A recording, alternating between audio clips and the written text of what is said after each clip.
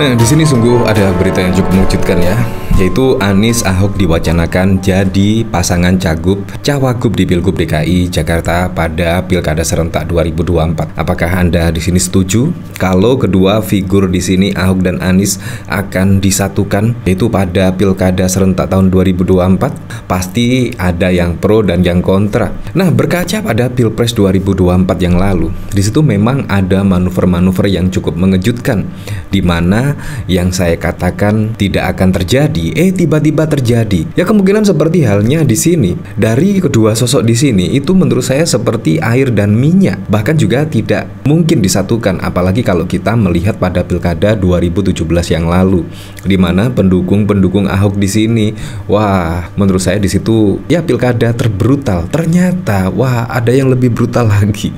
Dan juga bisa ya merasakanlah apa yang terjadi pada Pilpres 2024 ya walaupun sih di situ oleh MK diputuskan bahkan juga tidak ada cawe-cawe dan bahkan juga bansos tidak terbukti untuk pemenangan pasangan calon lainnya. Ya memang fenomenanya seperti itu adanya. Nah tetapi kita kembali lagi. Apakah Anda setuju kira-kira kalau kedua figur di sini disatukan pada Pilkada 2024 Ya, kita lihat besok lah karena menurut saya juga sangat susah sekali ya. Di mana di sini ya pasti akan mempertimbangkan lah siapa yang akan menjadi cawagup dan siapa yang akan menjadi cagup. Di situ pasti juga akan ada hitung-hitungan di situ.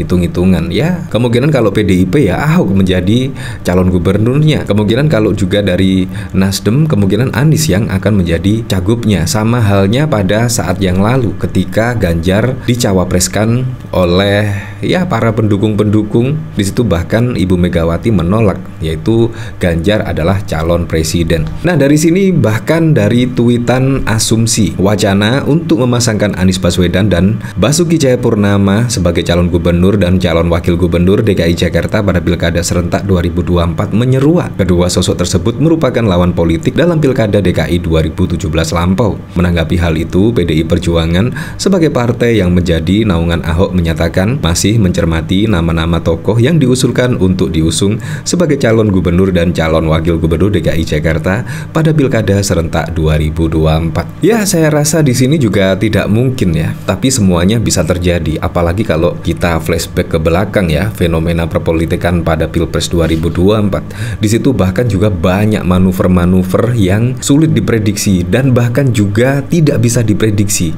Tiba-tiba langsung bermanuver ya seperti itulah anda tahu sendirilah pada saat yang lalu memang gebrakan pertama itu dari Budiman Sujatmiko yang padahal juga sangat getol sekali yaitu ya menentang Orde Baru. Eh tiba-tiba mendukung Pak Prabowo Subianto. Dan masih banyak lagi manuver-manuver yang lainnya seperti halnya juga Presiden Joko Widodo di pengunjung pendaftaran di KPU tiba-tiba ya manuvernya sungguh mengejutkan sekali. Karena Gibran tiba-tiba bisa maju sebagai cawapres walaupun usianya belum 40 tahun tetapi dengan putusan MK ya akhirnya sah-sah saja dan pada saat yang lalu juga Anies Baswedan digadang-gadang akan mengambil AHY sebagai cawapres di situ tiba-tiba juga ya memilih Muhaimin Iskandar. Ya memang perpolitikan pada waktu lalu sungguh tidak menentu. Nah, apakah juga akan terjadi pada Pilkada 2024 yaitu pasangan Ahok dan juga Anies Baswedan dan bahkan juga diprediksi tidak bisa menyatu tetapi semua saja bisa terjadi lah. Ya kita lihat besok lah pertimbangannya seperti apa Anies Baswedan di sini dan Ahok di Pilkada DKI Jakarta. Dan dari sini saya juga penasaran ya kira-kira komentar-komentarnya seperti apa ya di sini? Kira-kira banyak yang setuju atau tidak? Di sini dari Anto Witno, para elitnya mungkin bisa, tapi yang di bawah habis tes ombak di Pilpres balik ke Pilgub. Buat menang pilkada mungkin bisa, tapi untuk kerjasama ketika jadi gubernur dan cagup saja ragu mereka cocok. Anis terlalu banyak retorika, Ahok ceplas-ceplos nggak ada rim, bisa-bisa gaduh mereka berdua. Saya sih sepakat mending Ahok ke Sumut DKI majukan Anis. Di sini dari ayah kucing dua-duanya sampah. Di sini dari Topan top 10 anime plot twist Dedi dan semua geng 212 merasa tertipu. Ratu Bagus Batam, Ora, kata akun Sudi. Di sini dari Tian udah pasti auto win, win rate bisa 90%. Gak ada lawan sih itu harusnya. Yang ngide Anis, yang action Ahok. Cuma secara visi-visi orang ini beda banget loh. Itu yang paling sulit.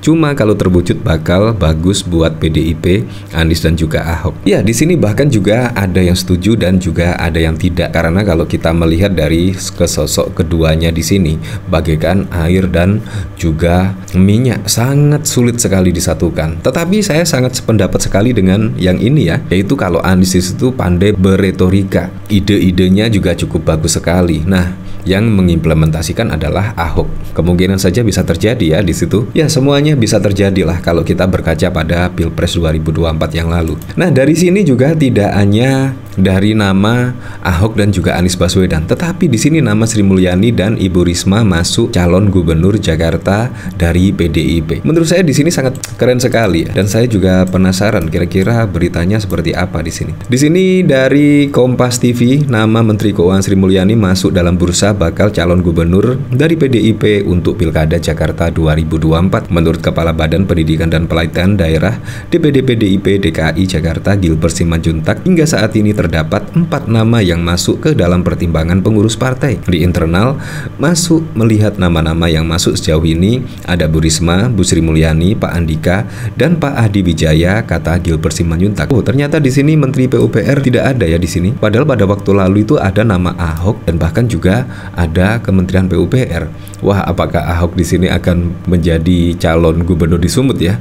Ya kita lihat besok lah. Keputusan mengenai siapa yang akan menjadi calon dalam Pilgub DKI akan diumumkan setelah rapat kerja nasional Rakernas DPD PDIP pada akhir Mei 2024. Ya kita lihat besok lah, yaitu pada saat Rakernas pada tanggal 26 Mei dan pasti di situ akan ada kejutan-kejutan lagi ya pada tanggal 26 Mei siapa yang akan menjadi calon Gubernur DKI Jakarta, siapa yang akan menjadi calon Gubernur Sumut di situ. Wah, pasti juga akan deg-deg ser. Ya, tetapi menurut saya sih semua calon-calon yang diusung PDI Perjuangan menurut saya juga calon-calon yang sangat mengerti permasalahan-permasalahan di wilayah tersebut. Ya, seperti Ahok di sini di DKI Jakarta sudah sangat paham betul tentang permasalahan-permasalahan di DKI Jakarta.